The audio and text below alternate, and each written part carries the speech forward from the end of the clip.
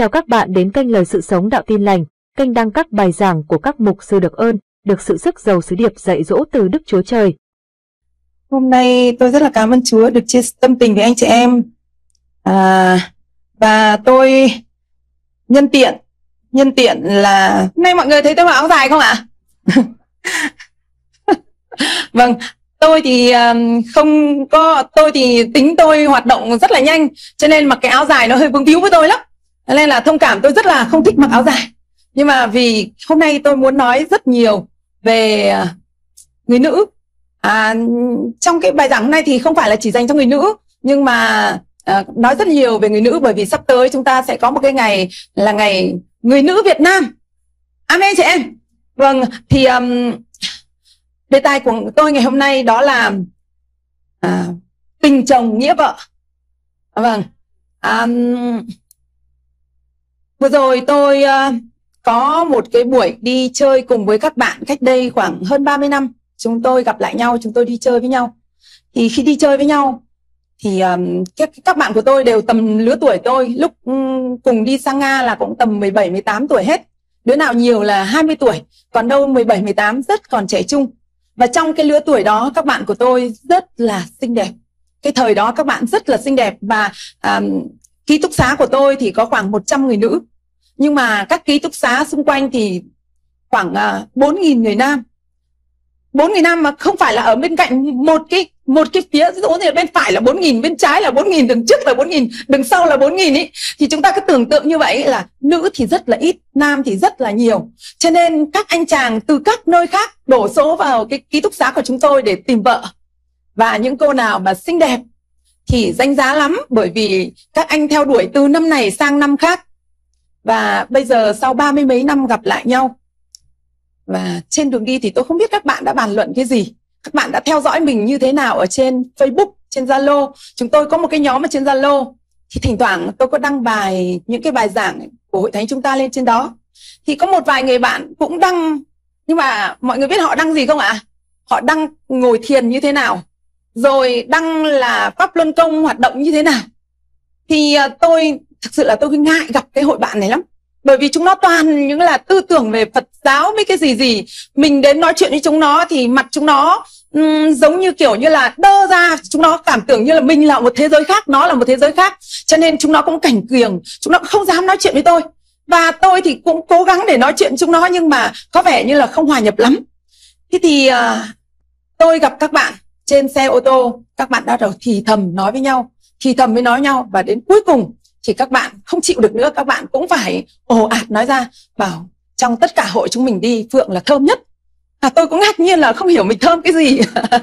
Thế rồi à, các bạn tôi nói là bọn tớ theo dõi phượng hết. Bao nhiêu những cái gì mà những hoạt động của hội phượng ấy là bọn tớ có theo dõi đấy. Và chúng tớ đã nói với nhau rồi là phượng là thơm nhất.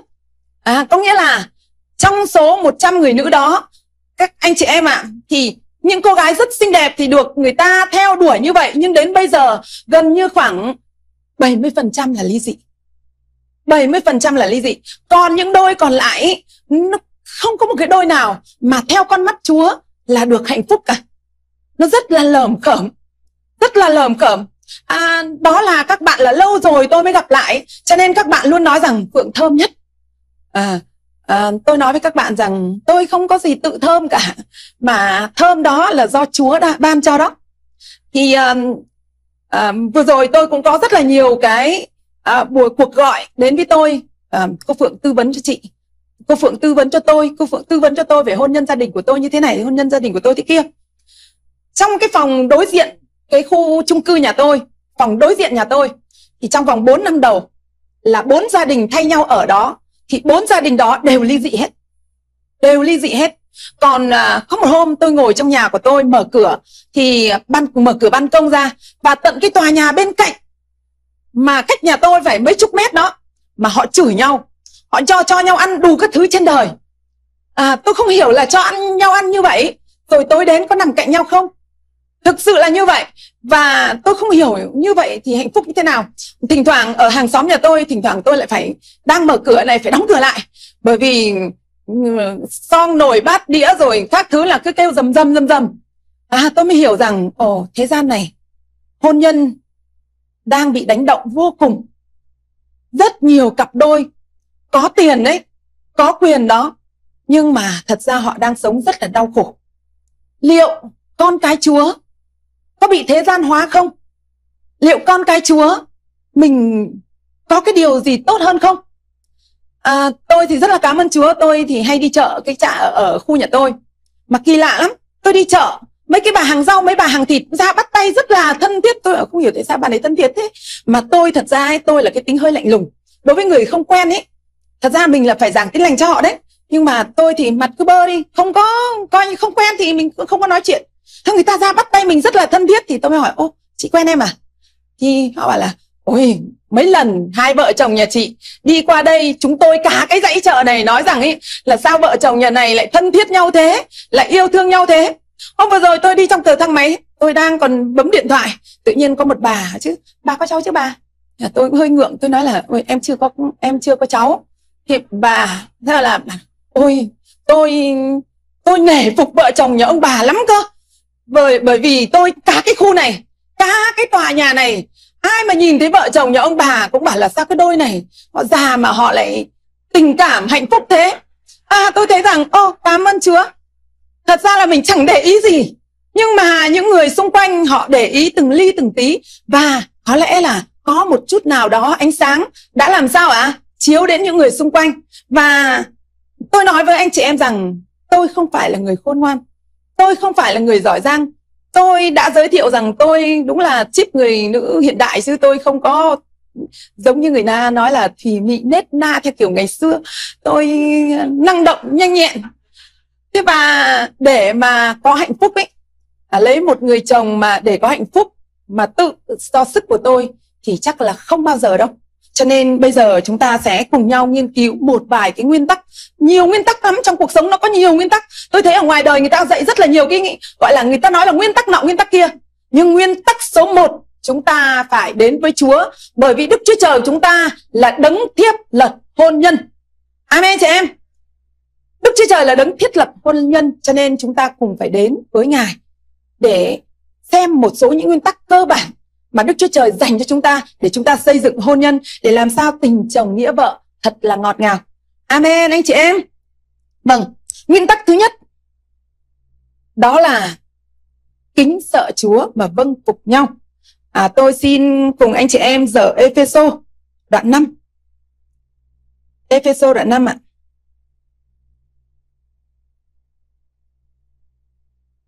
À, tôi sẽ đọc từ câu 21 cho đến câu 25 và sau đó tôi học câu 28, 29. Tôi xin được đọc ạ. Hãy kính sợ đấng Christ mà vâng phục nhau. Hỡi kẻ làm vợ, phải vâng phục chồng mình như vâng phục Chúa. Vì chồng là đầu vợ, khác nào đấng Christ là đầu hội thánh. Hội thánh là thân thể Ngài và Ngài là cứu Chúa của hội thánh. ấy vậy như hội thánh, như hội thánh phục dưới đấng Christ thì đàn bà cũng phải phục dưới quyền chồng mình trong mọi sự. Hỡi người làm chồng, hãy yêu vợ mình như đấng Christ yêu hội thánh, phó chính mình vì hội thánh. À, câu 28 Cũng một thể ấy, chồng phải yêu vợ như chính thân mình. Ai yêu vợ mình thì yêu chính mình vậy. Vì chẳng hề có người nào ghét thân mình, nhưng nuôi nấng săn sóc như đấng Christ đối với hội thánh. Tôi dừng lại ở đây. Vâng, à, thế thì có lẽ rằng ấy là chúng ta nghe qua chúng ta đã thấy là ôi vợ thì phải vâng phục chồng chồng thì phải yêu vợ. Nguyên tắc nó chỉ đơn giản như vậy thôi. Nhưng mà để có một cái nguyên tắc này thì trước tiên cái câu mà tôi đọc đầu tiên ấy, là kính sợ Chúa. Nếu không kính sợ Chúa nếu không có tình yêu đối với Chúa thì khó mà vâng phục nhau lắm mà cũng khó mà yêu nhau lắm. Người chồng mà không tôn kính Chúa. Làm sao có thể yêu một bà vợ mà trong con mắt mình là đáng ghét? Đúng không ạ? Bà ông bà vợ cũng vậy. Làm sao có thể vâng phục mình chồng mình mà một người mà trong con mắt của mình là ông này hèn thế? Người ông này éo ai ở? À, ông này không đáng. Mày dâu tôi nghe thấy rất là nhiều người phàn nàn như vậy. Vì vậy để làm được điều này trước tiên chúng ta phải tôn kính chúa phải yêu kính chúa. Vì đức chúa trời chúng ta ngài là gì ạ? Là tình yêu thương. Amen anh chị em. Đức chúa trời của chúng ta ngài là tình yêu thương. Nên khi chúng ta kính sợ ngài chúng ta yêu mến ngài thì anh chị em ạ à, chúng ta sẽ có sức mạnh để vâng phục nhau để yêu nhau. À, nhiều người nhiều người nói rằng ấy, là ai xây dựng cho tôi cái tình yêu này? Chúa ơi, Chúa có xây dựng cho con tình yêu này không? Chúa mang nguyên vật liệu đến trước mặt anh chị em. Và bây giờ ấy, anh chị em phải xây nó. Anh chị em phải xây dựng nó. Và anh chị em chính là nghệ nhân xây dựng hạnh phúc của chính bản thân mình. Và nguyên vật liệu, đó là vợ, là chồng, là vợ, là chồng mà Chúa ban cho anh chị em rồi. Bây giờ thì để cho hôn vợ nhân ngọt ngào, yêu thương, thì giống như là một cái tác phẩm một cái tác phẩm nghệ thuật mà phải rất là kỳ công rất phải dùng hết cả nỗ lực và bằng tất cả những cái tài năng của mình để chúng ta dệt nên cái tác phẩm đó. Amen chị em. À, nó đòi hỏi cả hai người. À, tôi à, tôi nhớ rằng ngày tôi mới yêu chồng tôi. Anh chị em có muốn nghe chuyện tình của vợ chồng tôi không ạ? Nếu như cặp đôi nào mà lúc mà anh chị em yêu nhau, anh chị em tìm hiểu nhau, anh chị em đã có cảm xúc để mà đến với nhau ấy, tôi chúc mừng anh chị em ấy. Còn vợ chồng tôi không được như vậy. Đơn giản thôi, chồng tôi cầu nguyện và chúa nói rằng phượng là vợ của con. Anh ấy cũng chẳng biết là tôi xinh hay tôi xấu nữa. Lấy nhau mấy năm trời, anh ấy không biết là tôi xấu hay tôi xinh ở cái chuyện điểm nào. Mà thậm chí là vợ thì lòe loẹt mặc quần áo như vậy. Nhưng mà chồng có bao giờ để ý là hôm nay vợ mặc cái gì đâu? Mặc cái gì đẹp, cái gì xấu? Mấy năm đầu là chồng tôi không hề biết. Sau này tôi phải khơi khơi khơi ra, thì anh mới bắt đầu để ý một chút. Hoàn toàn là chồng tôi không để ý tôi xấu hay là tôi xinh. Vâng ạ. Rất nhiều người trong hội thánh nói rằng, nhượng ơi, sao em bằng đại học mà em giỏi giang các thứ thì tự nhiên yêu cái con bé? Vừa xấu lại vừa vừa thì nói chung là nhiều thứ ra. Nhưng mà chồng tôi chẳng, nói chung là không để ý đến cái bề ngoài của tôi. Còn tôi thì thế nào ạ? à? Tôi là một người cực kỳ là, gọi là, đòi trèo cao ấy. Cho nên là tôi mong muốn, mơ ước từ thuở bé là mình lớn lên phải lấy một anh chồng rất là đẹp trai ờ, nhà giàu để thoát đời thoát đời cây lúa của cuộc đời mình. Chồng chồng mông lên, nói chính xác là như vậy, để cây lúa bao nhiêu năm rồi.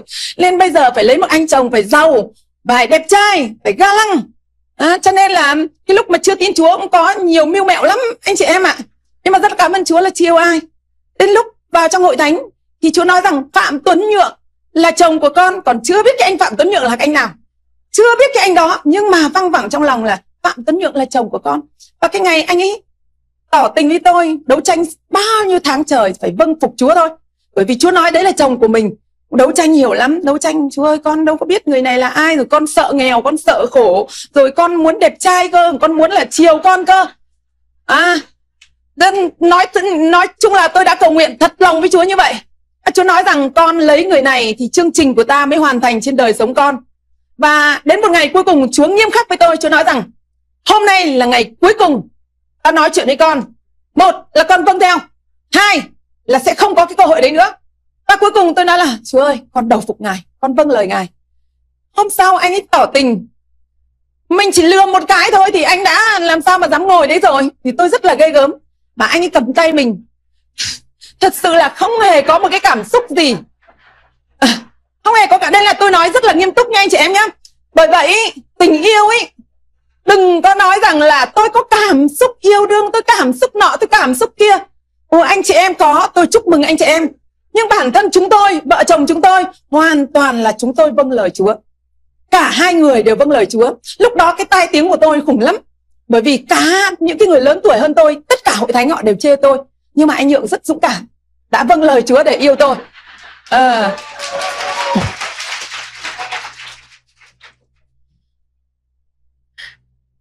Vì vậy Có thể nói rằng yêu thương ấy Đó là luật pháp. Amen chị em. Yêu thương là luật pháp của Chúa, Chứ không phải là đòi hỏi cảm xúc của mình như thế nào. Bởi vì cảm xúc của anh chị em, Có nhiều lúc nó sẽ tăng lên, Nhưng những lúc làm sao ạ? À? Nó cạn kiệt. Tôi tư vấn cho nhiều đôi, họ nói rằng, Chúng tôi không còn cái gì cả. Chúng tôi không còn, Thậm chí nhìn còn không muốn nhìn nhau.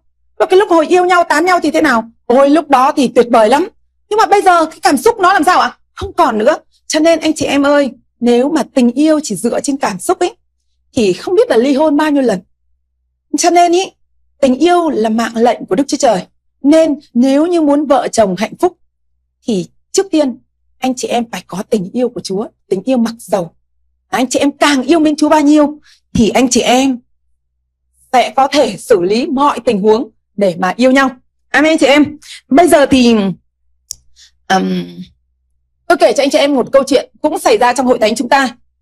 Có một đôi bạn trẻ kia yêu nhau trong hội thánh, tán tỉnh nhau một đôi rất là đẹp.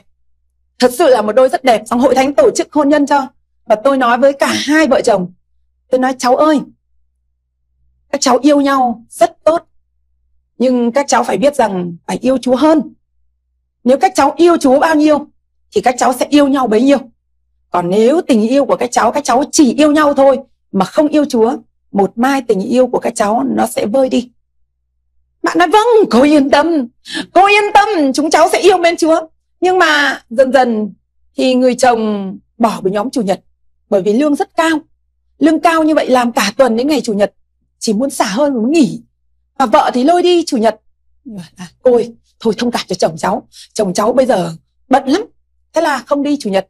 Dần dần ý anh không đi chủ nhật thì kéo theo em cũng không đi chủ nhật. Và tiền thì rất là nhiều nhưng cơ quan thì mời cơ quan mời trong đấy có uống bia uống rượu và có thậm chí là có có thể là những cái tệ nạn khác nữa. Và dần dần ý thì cả hai vợ chồng không đến hội thánh lúc đầu nó còn thưa thưa dần nhưng mà sau thì không đến. À, sau khi không đến đó rất nhiều người gọi điện hỏi thăm. Nhưng mà khi mà tình yêu nó chết đối với chúa chết trong lòng ấy nó là cái giai đoạn cực kỳ nguy hiểm. Cuối cùng chồng đi với gái vợ cũng đi với trai một đôi cực kỳ đẹp. Một đôi đầy tiềm năng. Và năm bảy lần ly dị. Nhiều người can thiệp vào, không can thiệp được nữa. Và cuối cùng là ly dị. Rất là buồn. Rất là buồn. Ly dị trong sự cay đắng nhau, trong sự hận thù nhau. Cho nên anh chị em ơi, phải đặt tình yêu đối với chúa là tình yêu số một. Amen chị em. Tình yêu với chúa là số một.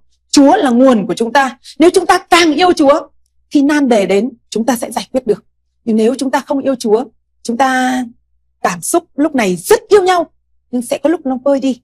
Và bây giờ thì tôi muốn nói về nguyên tắc vợ chồng. À,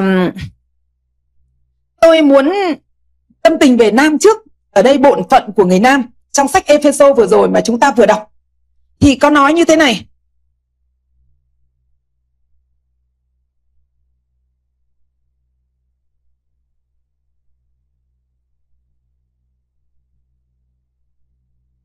Vâng, tôi xin đọc từ câu 25. Ở đây có nói như thế này. Hỡi những hỡi người làm chồng, ai làm chồng xin giơ tay ạ. Vâng, sau đó hạ tay xuống ạ. Hãy yêu vợ mình như đấng Christ đã yêu hội thánh, có chính mình vì hội thánh. Có khó không các anh? Có khó không ạ? Ở đây nói rằng ấy là hỡi những người làm chồng, hãy yêu vợ mình yêu như thế nào? Yêu như thế nào thì câu trả lời ngay trong chỗ này là như đấng Christ đối với hội thánh.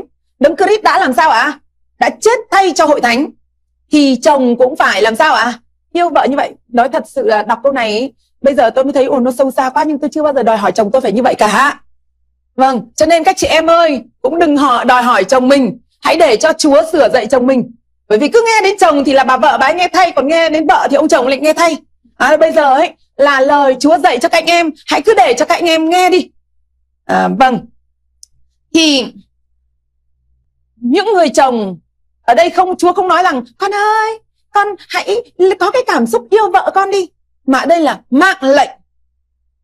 Mạng lệnh của Chúa là không có chối cãi là phải yêu vợ mình. Và yêu như là đấng Christ yêu thánh. Tôi nhớ một cái câu chuyện kia. Thế là trong trường kinh thánh chúng tôi dạy thì uh, có một vài bạn sinh viên thanh niên các bạn ấy có người yêu. À có một bạn này cặp đôi cũng rất là tuyệt vời. À, bạn ấy đến bạn báo cáo là cô phượng ơi à, bọn em vừa đi truyền giáo xong à, em đến cái làng đấy bị nó đánh cho tét thua và nó bảo là lần sau mà mày vào đây ấy, nhưng mà có mấy người tin chúa đấy mà bọn em muốn quay lại nữa mà nó lại bảo là lần sau mày quay lại đây thì tao sẽ đánh cho mày thế nọ thế kia. Thế là lần sau muốn cho an toàn dù cô người yêu đi. Dù cô người yêu đi thì hai người mới vứt xe ở cái quán trọ ở đầu ngõ hai người đi bộ vào. Mà không nói cho người yêu biết rằng ấy là anh đi vào cái làng này nguy hiểm lắm. Có gì là nếu mà nó đuổi thì chạy nhé. Thì không có bảo gì với cô người yêu cả. Thế đến lúc ấy đi vừa đến đầu làng thế là một hội thanh niên nó chặn thế là anh ấy ta co giò anh ta chạy.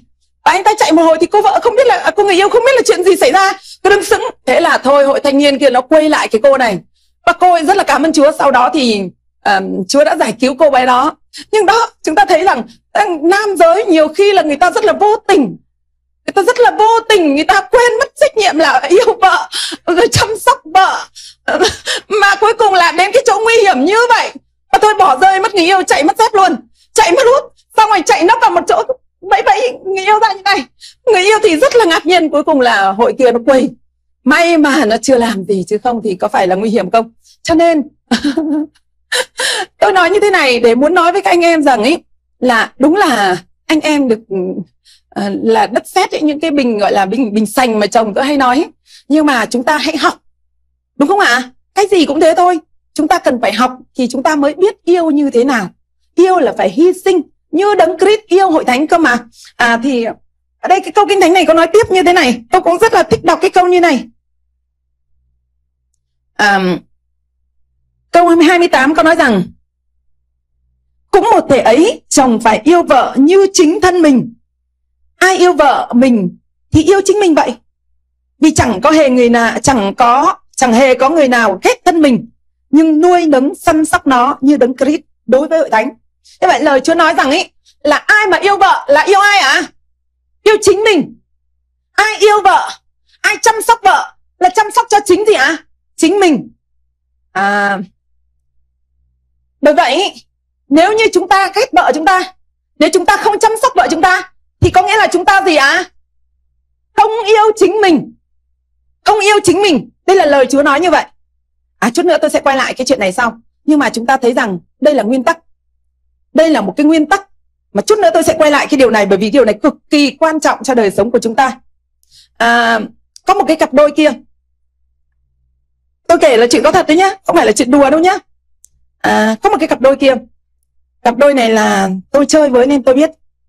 À, anh ấy là người trắng trẻo nhỏ nhắn thư sinh. Còn chị ở ngoài đời người ta được mệnh danh là ôi mày to cao đen hôi. À, à, chị rất là to. Dáng đi của chị là rất là thô. Chị nói với cái giọng nói rất là ôm ôm và vỡ cả làng luôn.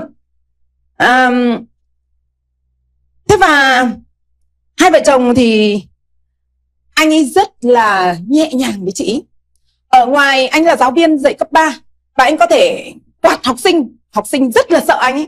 Nhưng riêng về nhà với cái bà vợ to cao này, thì anh lại làm sao ạ? Rất là nhẹ nhàng. Và thậm chí, nhiều lần anh cứ gọi chị, vợ là cô bé của anh ơi. Mà người ta cứ bảo, ôi rồi bé gì? To như thế, bé cái gì? Nhưng mà lúc nào anh ấy cũng nói rằng, ô, cô bé của anh ơi. Thế một lần kia thì ở cái làng đó, cái nhóm đó bị bắt bớ. Và công an vào thì mới tóm bà vợ đưa ra đồn công an vì nhóm ở tại nơi đó. Anh là giáo viên, là cũng là, từng là đảng viên nữa. Thế là anh ấy về, anh ra đồn công an, anh đập bàn đập ghế. Anh bảo là, các anh là những người thi hành pháp luật, toàn những cái ông lực lượng to cao thế này mà tự nhiên là bắt một cô vợ nhỏ bé của tôi. và anh ấy anh ấy đứng ra, anh ấy bưng vực vợ của anh ấy. Và bởi vì cái, anh ấy là một người trí thức ở trong làng, cho nên là cái làng đó, công an xã họ rất là nể anh ấy. Và khi anh ấy như vậy thì thật sự là cả làng rất là tôn trọng anh ấy.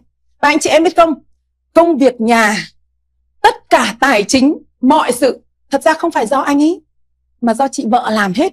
Nhưng mà đối với anh chồng, chị vợ lúc nào cũng như là một con thỏ ấy ra ngoài đường có thể hô to như thế nào đi chăng nữa.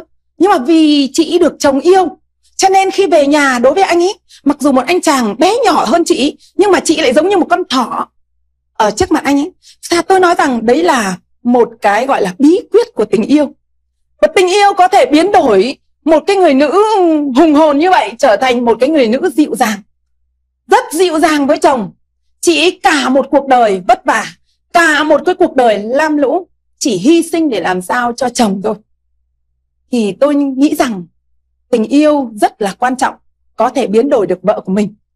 À, chứ còn chúng ta dùng quyền lực ấy chắc chắn rằng không biến đổi được người vợ đâu. Quyền lực không biến đổi được người vợ đâu. Nhưng mà tình yêu thì rất kiểu diệu kỳ có thể biến đổi được vợ mình. Thật ra cái cuộc tình của vợ chồng tôi cũng nhiều lúc khó khăn lắm. Tôi là người hay bỏ cuộc tôi là người hay chán tôi cứ nghĩ cái hồi mới lấy nhau tôi cứ nghĩ mình bây giờ chẳng biết đi đâu cả. Lúc nào giận chồng ấy, về nhà mẹ đẻ cũng không được.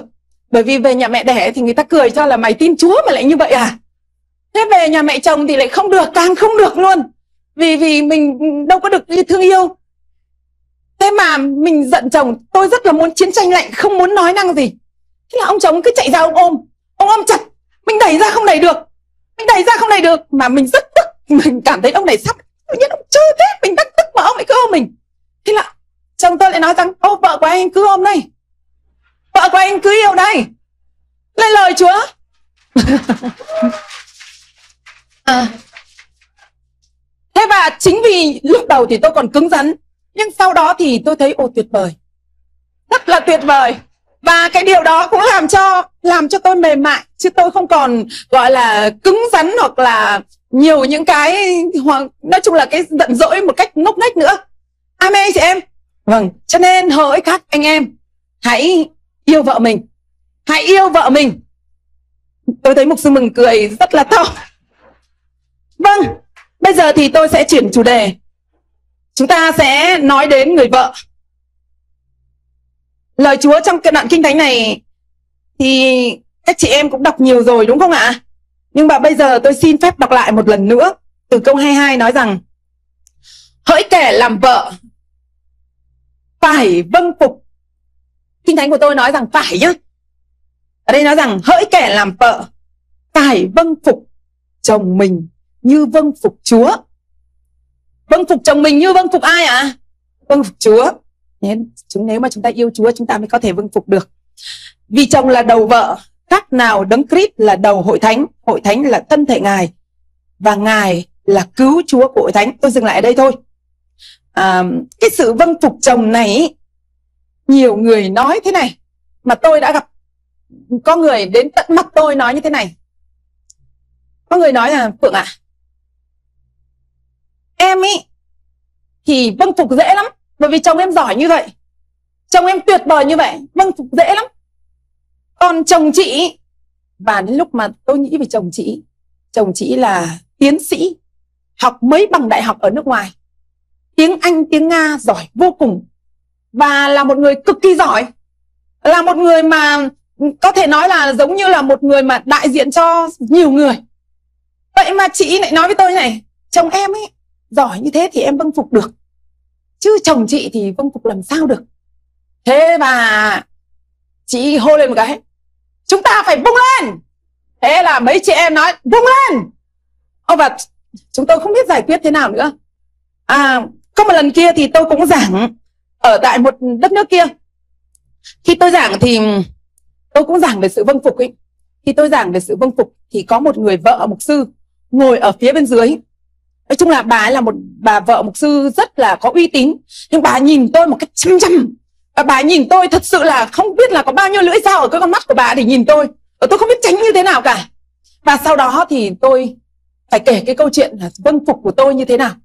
Thật ra thì tôi cũng giống người đàn bà đó thôi. Cũng rất là ghê gớm.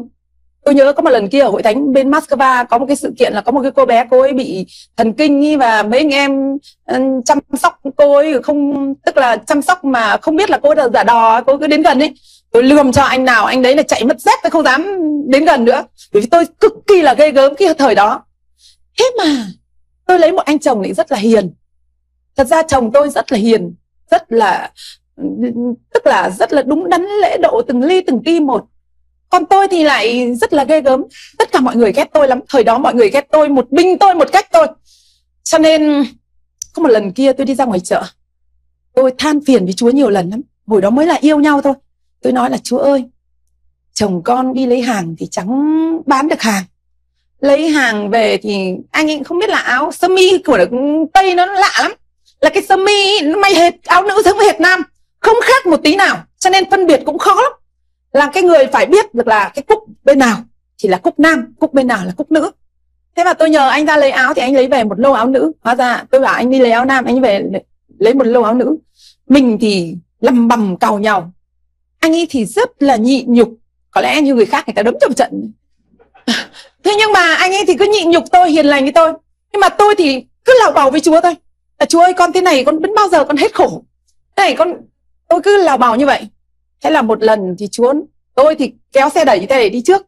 Chồng tôi thì rất là nhát, bởi vì thấy cô cào nhào lên là anh ấy càng nhát. Thì chúa nói rằng, con con muốn là con làm đầu gia đình. Hay con muốn phạm tuấn nhượng là đầu gia đình. Thế mà tôi nói rằng lạy chúa, con con phục ngài chứ. Chúa muốn chồng là đầu gia đình, con đâu muốn là đầu gia đình. Thế chúa nói rằng, đứng lùi lại, đi lùi lại. À tôi nói rằng, chúa ơi, con không lấy hàng thì ai lấy hàng? Chúa nói là, bây giờ phải để chồng con lấy hàng. Phải hạ xuống vâng phục bằng mọi cách. Thế là tôi quay ra, tôi nói là, anh ơi, anh vào lấy hàng đi. Chồng tôi nói là, anh lần nào lấy hàng về, em cũng chê thôi anh không lấy đâu, em tự vào lấy đi. Rồi có gì nặng nhọc thì anh làm cho. Thế tôi nói rằng, chúa nờ nói với em rằng em phải vâng phục anh. Cho nên anh vào lấy hàng đi. Bán không được hay bán được. Thì em vẫn tin. Anh là đầu gia đình. Và cuối cùng chồng tôi vào lấy. Và lần đấy về nhà bán được, anh chị em ạ. À. cách đây một thời gian, hai vợ chồng ngồi nói lại chuyện với nhau. Tôi nghĩ bụng vô, ngày xưa chồng mình hiền như vậy, nhát như vậy. Sao bây giờ anh lãnh đạo mạnh thế? Tại sao bây giờ lời nói của anh ấy nó có uy quyền như vậy? Còn mình ngày xưa ấy thì mồm to như vậy. Và tại sao bây giờ anh hét một câu mà đã, anh chẳng cần hét anh nói nhẹ một câu mình cũng làm sao ạ? À? cũng bùn rùn đi đằng sau rồi. À cái đó ấy là phải có một cái giai đoạn bạn phải lùi lại. Bạn phải lùi lại. Bạn phải hạ mình xuống. Bạn phải khuất phục. Bạn phải làm sao ạ? À? vâng phục. Amen chị em. Cho nên ý không tự nhiên mà có thể vâng phục được. Con người mình ý nó tội lỗi lắm. Không tự nhiên mà có thể vâng phục được. Nhưng mà nếu như chúng ta kính sợ Chúa nếu như chúng ta yêu mến Chúa chúng ta có thể làm được. Chúng ta có thể bẻ gãy cái tính xác thịt của chúng ta để chúng ta vâng phục người chồng của chúng ta. Hỡi các chị em. Amen các chị em. Um,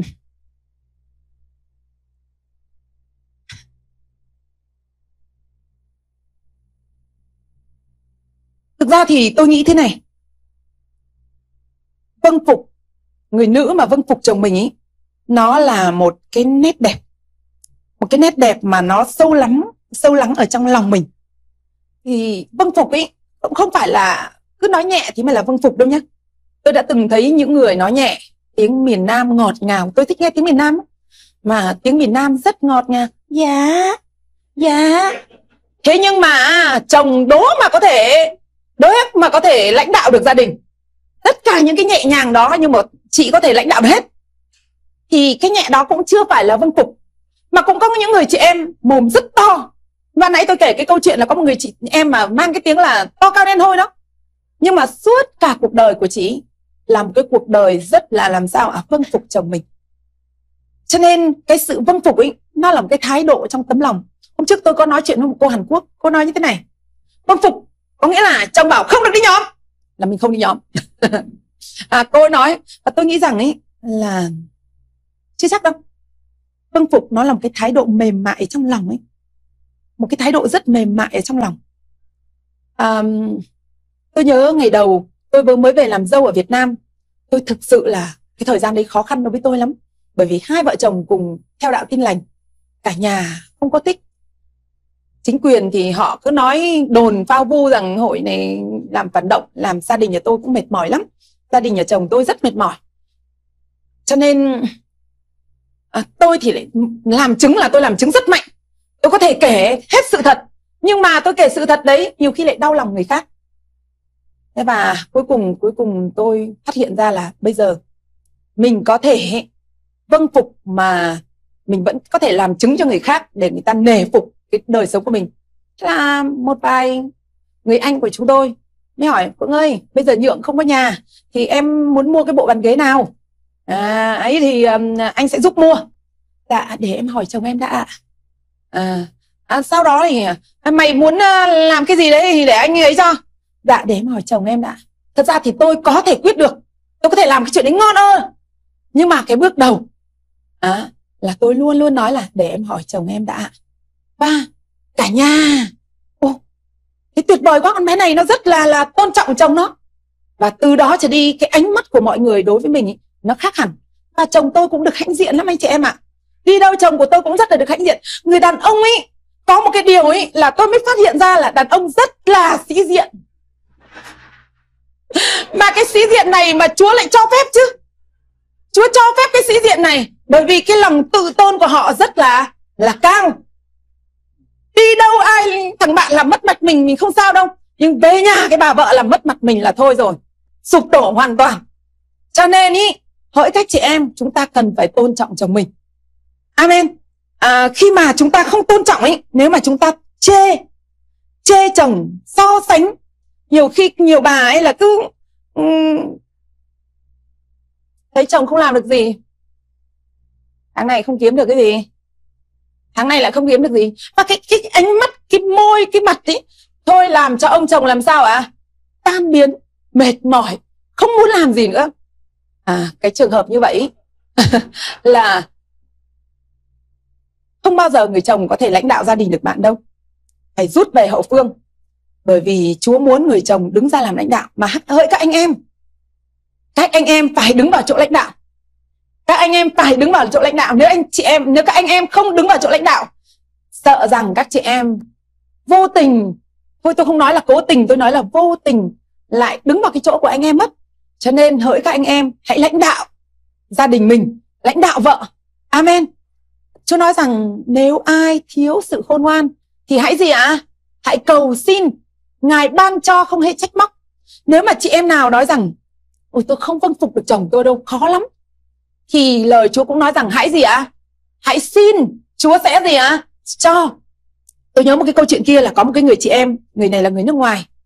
Và người chị em này lấy một người chồng chưa tin Chúa. Nhưng Kinh Thánh nói rằng bởi cái cách ăn nết ở của người vợ cũng đủ cảm hóa theo à, người vợ này suốt ngày bị chồng đánh một lần kia chị đi hội thánh anh chồng thì không tin chúa à, chị vợ thì tin chúa đi hội đi nhà thờ về khi về nhà ấy anh kéo theo một hội bạn và nói rằng chúng mày hôm nay đến đây chúng mày xem tao dạy vợ như thế nào. À hôm nay chúng mày xem đây tao mới gọi là người chồng anh hùng. Thế là chồng vợ vừa đi vợ vừa đi nhà thờ về nói mày đi mua rượu. Tây ý, mà chồng sai vợ như thế là hiếm lắm Chỉ có vợ sai chồng thôi chứ làm gì có chồng sai vợ. Mà cái trường hợp này là ông chồng ông ấy Bắt bà vợ đi mua thức ăn Làm rượu các thứ cho à, bạn ông ấy uống. Uống xong rồi ông tẩn cho bà một trận. Bà vợ không hề, Mà bà vợ rất xinh đẹp. Thế cuối cùng ấy mấy cái người bạn rượu ấy Nó quay ra nó đánh người chồng. Nó bảo, mày Mày lấy là người vợ đẹp như thế này. Nó phục vụ mày, ăn uống như thế nào thì tao, chỉ cần vợ tao phục vụ đã là tốt rồi, mà mày lại còn đánh vợ mày như vậy. Thế là mấy cái người bạn mới bảo, em ơi, sao em có thể chịu được cái thằng bạn anh như thế này? Thì cô vợ nói rằng, mai mốt em lên thiên đàng, em sẽ được ở trong vòng tay của chúa chúa sẽ chăm sóc em đời đời. Nhưng mà chồng em không tin chúa. Mai mốt chết đi, chồng em sẽ xuống địa ngục. Và lúc đó chồng em không có cái cơ hội gì hết. Thời gian đẹp nhất của chồng em là thời gian trên đất là được em chăm sóc. Bởi vậy em sẽ chăm sóc chồng em. Và qua cái cách cư xử như vậy, tất cả hội bạn kia kéo đến nhà thờ tin chúa hết. Và sau đó người chồng cũng tin chúa. Cho nên hỡi các chị em, bởi cái cách ăn nết ở của mình bằng cái sự vâng phục khiêm nhường chắc chắn là dù cái đời sống mình đang khó khăn lắm mắt để có thể vâng phục cái ông chồng này thì Chúa cũng sẽ ban cho các chị em sự khôn ngoan để có thể chiến thắng cái hoàn cảnh đó Amen các chị em. Vâng. À tôi còn một câu kinh thánh nữa và cái điều này thì mới là cái điều quan trọng trong à, cái lời tâm tình của tôi ngày hôm nay. Đó là một cái nguyên tắc mà chúng ta không được phá vỡ trong hôn nhân. Đó là nguyên tắc một thịt. Xin anh chị em hãy cùng tôi dở kinh thánh sáng thế ký đoạn 2 từ câu 18 đến câu 22. Sáng thế ký đoạn 2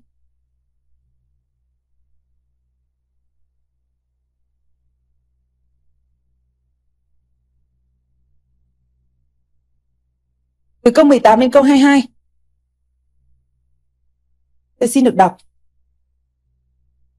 Jehovah, Đức Chúa Trời phán rằng, loài người ở một mình thì không tốt, ta sẽ làm nên một kẻ giúp đỡ giống như nó, giê va đức chúa trời lấy đất nắn lên các loài thú đồng các loài chim trời rồi dẫn đến trước mặt adam đặng thử người đặt tên cho chúng nó làm sao hầu cho tên nào adam đặt cho mỗi vật sống đều thành tên riêng cho nó.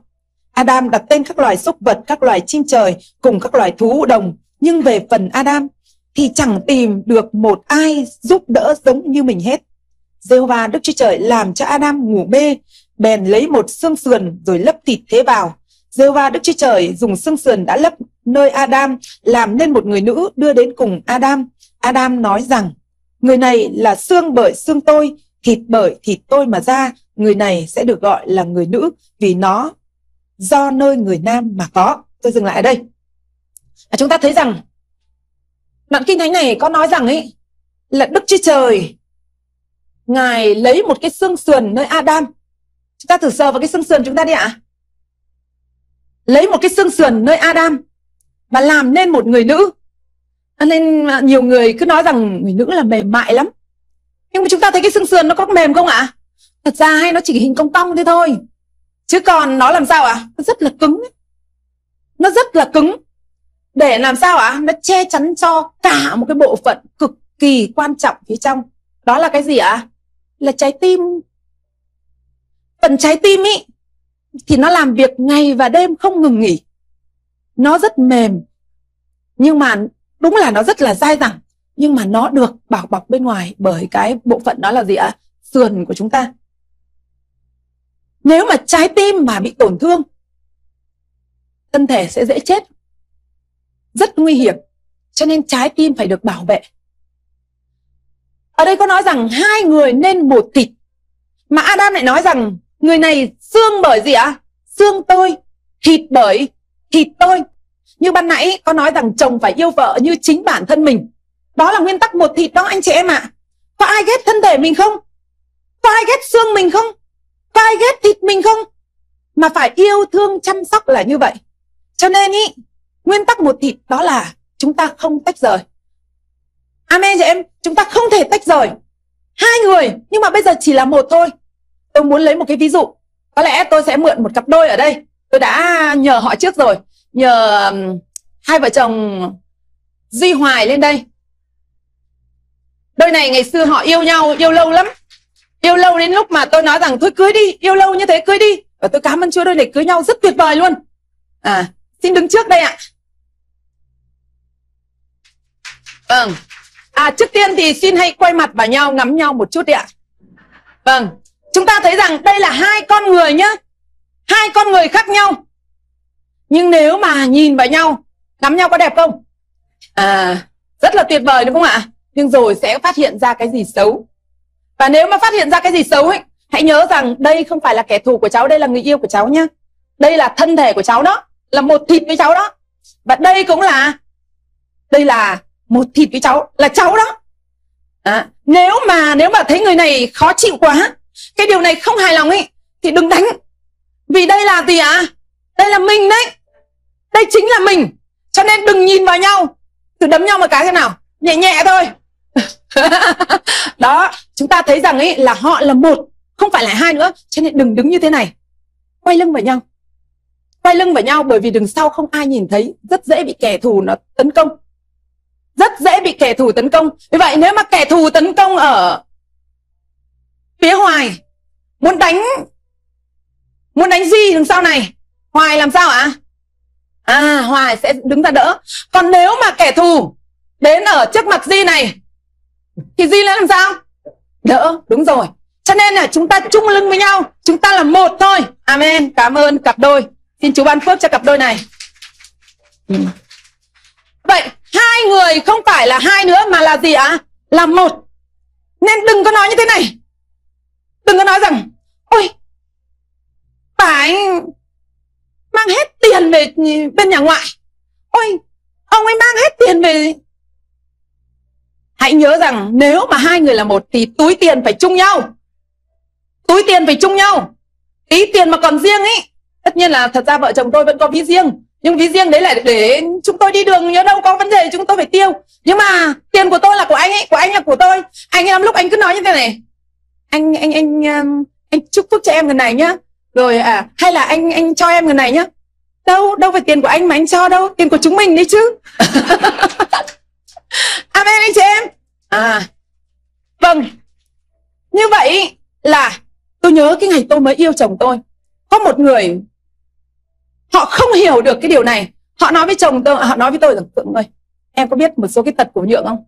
Kể kể kể ra tôi nghiêm nét mặt tôi nói rằng, sao anh vô duyên đấy đây sẽ là chồng của em. Điểm yếu của chồng em là của em. Amen chị em. Nếu mà anh chị, nếu anh em nào gặp một bà vợ mà hay nói, thì hãy nhớ rằng nhá, đấy không phải là tật của vợ anh chị em nữa, mà đấy là tật của chính mình. Mình phải có gì ạ? À? mình phải có công, có sức để làm sao ạ? À? sửa, giúp đỡ. Amen còn nếu mà ai đó chê chồng của mình hoặc là chồng của mình có điều gì chưa tốt, hỡi các chị em, chúa gọi các chị em là người giúp đỡ đó. Giúp đỡ không phải là là là, ôi, tôi yếu đuối như thế này, làm sao giúp được chồng? Hoặc là có người lại nói rằng, ôi, chồng tôi kém cỏi nên là tôi phải giúp. Không. Có nhiều người rất giỏi, nhưng có những lĩnh vực mà bạn làm được, hãy giúp. Hoặc bạn nhìn ra, hãy giúp. Thế mới gọi là người giúp đỡ chứ amen chị em. Đến đức thánh linh còn đến giúp đỡ chúng ta cơ mà. Cho nên ý, vợ chồng là một không còn là hai nữa. Khi chúng ta phân tách ra là hai ý, chúng ta sẽ rất dễ đụng độ. Tôi bao nhiêu lần đi giải quyết cho cặp đôi nọ cặp đôi kia đa phần mắc vào cái điều này. Mắc vào điều này. Và cứ phân bà đấy như vậy rất là khó chịu em ạ. À. ông chồng lại nói chứ. À cái bà vợ lại nói ui cái ông đấy ông xử tệ như vậy đấy chị ạ. Không hai người là một. Nếu có gì chúng ta cùng nhau vượt qua. Chúng ta cùng nâng đỡ nhau. Nếu mà khi chúng ta biết được cái nguyên tắc một thịt này ấy, thì chắc chắn là vợ chồng sẽ bền chặt. Amen đi chị em. À, đây là một cái nguyên tắc mà chúng ta rất dễ vấp phạm. Có nhiều người thì chúng ta không ly dị chồng không ly dị vợ của chúng ta đâu. Nhưng nhiều khi chúng ta lại ly dị trong tâm trí ly dị trong tấm lòng này và đặc biệt sắp tới là đến ngày 20 tháng 10 đến ngày 21 tháng 10 chúng ta có một cái hội thảo dành cho các chị em tại đây với chủ đề là của báu của mẹ. Sẽ nói nhiều hơn về con cái, còn hôm nay tôi sẽ không nói về con cái đây. Tôi chỉ nói về tình nghĩa vợ chồng thôi. Thì nếu mà hai vợ chồng yêu thương nhau ấy, con cái sẽ yên tâm hơn. Còn nếu mà con cái mà thấy bố mẹ cãi nhau ấy nó sẽ làm tổn thương đứa bé. Um, nhưng mà tôi muốn nhắn nhủ với các chị em tại nơi đây. Thật ra đàn ông Việt Nam tôi cứ so sánh một chút thôi mọi người thông cảm với tôi. So sánh với một số những đất nước khác ấy đàn ông Việt Nam nói chung là rất tuyệt vời. Thực sự là như vậy. Tôi đã gặp một số những mục sư Hàn Quốc. Lúc tôi đến gặp tôi ngồi ăn và tôi lạ quá không thấy bà vợ đâu. Tôi mới hỏi mục sư đó là vợ đâu? Đứng đằng sau ấy khoanh tay này giống như người hầu ấy. Đợi chúng tôi ăn xong xong mới vào làm sao ạ? À? lúc đó mới ăn. Tôi thấy lạ quá. À, tôi thấy là đàn ông Việt Nam họ không đến nỗi như vậy không đến nỗi gia trưởng như vậy. Nhưng mà có nhiều người chị em thì cứ chê rằng chồng em không kiếm được tiền. Bao nhiêu năm nay phải ăn nhờ ăn bở của em. Quên cái tư tưởng đấy đi. Quên hẳn cái tư tưởng đấy. Bạn đã không yêu bạn đã không yêu. Bạn vừa không yêu một chúa, mà bạn cũng không yêu chồng bạn. Nếu mà bạn yêu chồng bạn, thì chồng bạn như thế nào bạn cũng có thể vâng phục được. Amen. Còn nếu như chúng ta nổi loạn ý, thì hãy tưởng tượng cái xương sườn. Cái xương sườn là cái bộ phận mà bảo vệ trái tim của mình. Thế mà nó lại làm sao nó gãy. Và những cái xương sầu đó, nó đâm vào chính trái tim. Thì thân thể đó đau đớn tổn thương là giường nào? Bởi vậy cho nên đừng bao giờ quay mặt vào nhau để đấu nhau, mà hãy nhớ rằng hai người là một và chăm sóc nhau và hỡi các chị em. Hãy nhớ chúng ta là cái xương sườn để làm sao ạ? À? để bảo vệ trái tim của thân thể. Amen chị em. Vâng tôi xin kết thúc ở tại nơi đây. Để kết thúc thì tôi muốn nói như thế này.